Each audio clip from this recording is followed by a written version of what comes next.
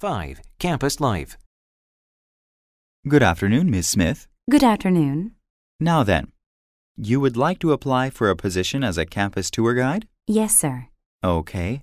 Have you ever been a tour guide? No, I haven't, but I love people, and I've been a student here for two years, so I know all about the campus. I see. Do you know what your duties would be as a tour guide? Sure, I'd walk people around the campus, tell them the names of buildings, talk about student life, then answer questions. That's correct. Tours are held once each day. They last for 90 minutes. What time do they begin? At 10 a.m., Monday through Saturday. On Sunday, tours start at 1 p.m. Monday through Friday only, the guide will give a 30 minute talk after the tour for students who want to study here but have not yet applied. How much money do the tours cost? They're free.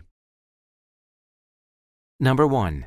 The woman explains a tour guide's duties. Summarize her explanation by putting the information in the correct order.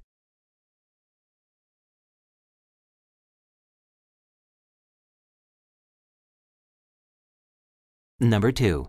How often are the campus tours?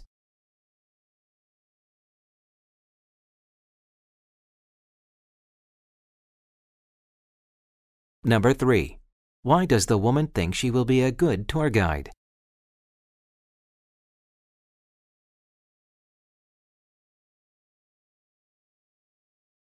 Number 4.